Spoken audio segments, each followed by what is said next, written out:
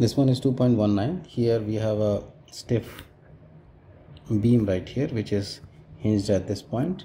And it's supported by these two springs here and both of them have same constant k. There's a force p applied at a distance of c from here. And we need to figure out this distance c so that the effective spring constant is 20 k over 9 so what is the effective spring constant in this case?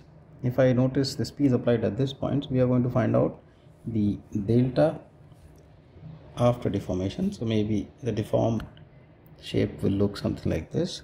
So if I find this delta here this relationship between P and delta is given by this constant right here which is 20k over 9 so for this to show that this is the constant we need to find a relationship between P and delta. So let's look at the forces on this beam here so in the deformed configuration so there will be a force coming from this spring here a force coming from here. And because it is hinged here we are expecting a reaction also coming from that point. Horizontally there are no other forces so we are ignoring that reaction there.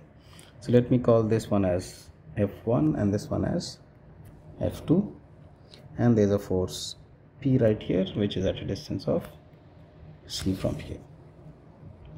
So if i write on the moment balance equation about this hinge point I can write your P times C which is a clockwise moment is going to be equals to F1 times A plus F2 times 2A.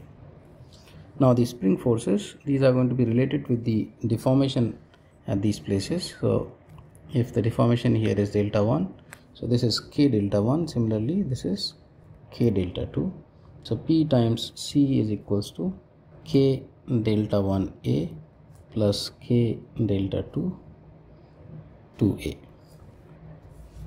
now from the geometrical compatibility perspective you can see that if this is your delta 1 this is your delta 2 this is a this is a.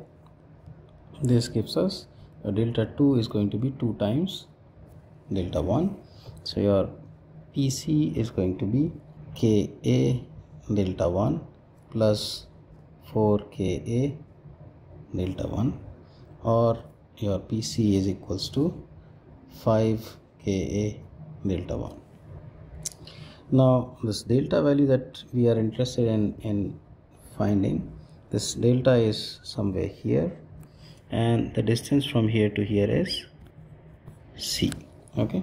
So again using the similar triangles there i can write another relationship which is your delta 2 divided by the whole length that is 2a is going to be delta divided by c from this triangle. Okay? So this gives us the value of delta 2 equals to 2a delta divided by c. Now since delta 2 is equals to 2 delta 1 we can write down your delta 1 is delta 2 divided by 2 from here. So this is equals to a delta divided by c.